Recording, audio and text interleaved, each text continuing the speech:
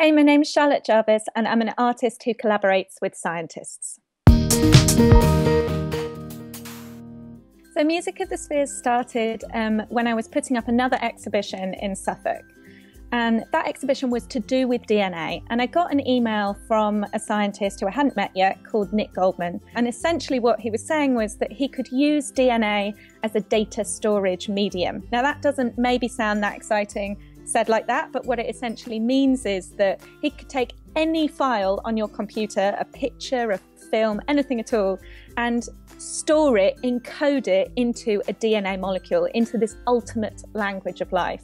I think it's really uh, natural that artists want to use DNA um, because DNA and the associated technologies are what are changing the world. You know, this is what is changing our perception of ourselves and our perception of the environment, and that is what artists are interested in. I wanted a way of exhibiting the DNA that was romantic and kind of ephemeral. I wanted a way of showing the same sense of wonder that I felt when I looked at Nick's technology. And I also wanted something that was to do with music, because it's music that we've encoded in into the DNA.